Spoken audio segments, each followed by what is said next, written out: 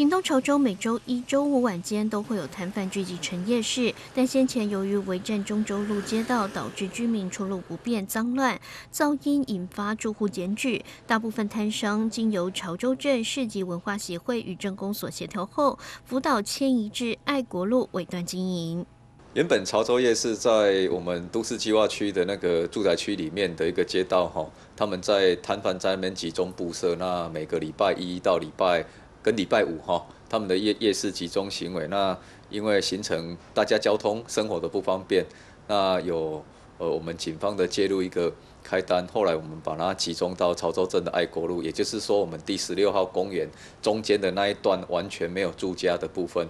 爱国路尾段离民宅有段距离，加上旁边委员第二公墓起掘的空地，影响程度低，因此规划格数以试营运方式由协会管理，讨论出提案。不料近期遇到台风及豪雨皆取消。除了试营运展延，目前屏东县潮州镇临时摊贩集中场管理自治条例也已完成，将在下次代表会临时会提案，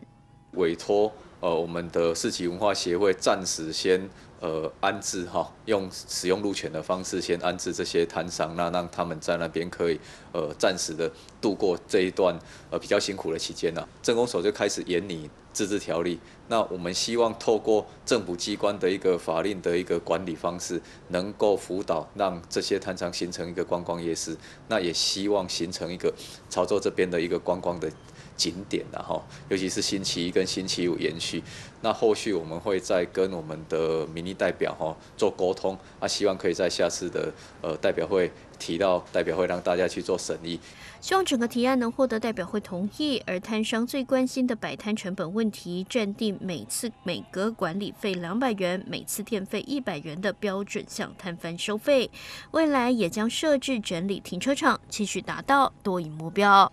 记者不听杨正义采访报道。